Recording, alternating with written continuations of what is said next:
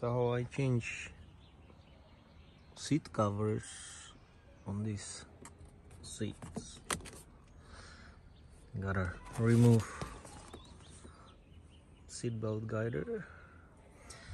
Not sure what happened here. I just bought this car only 45,000 miles. Shouldn't this be the recall? That's disgusting. How this could happen in Mercedes in 45,000 miles. My other Mercedes has 180,000 miles. The seats still look like this. Kinda new. Like nobody sit here. This one is fine.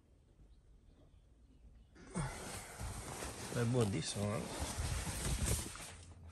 Oh, the airbag.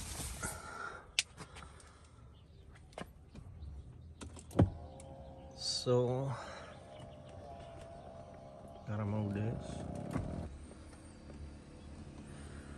There's two screws at the back. And there's two screws under the guider. It's right here.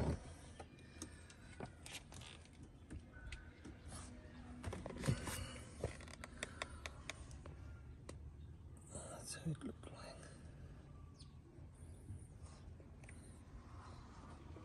two screws and then push this down. Not up down. There's a hook. And then two screws right here remove put the seat cover and then I guess punch two holes and put this back. That's it. This is SLK 250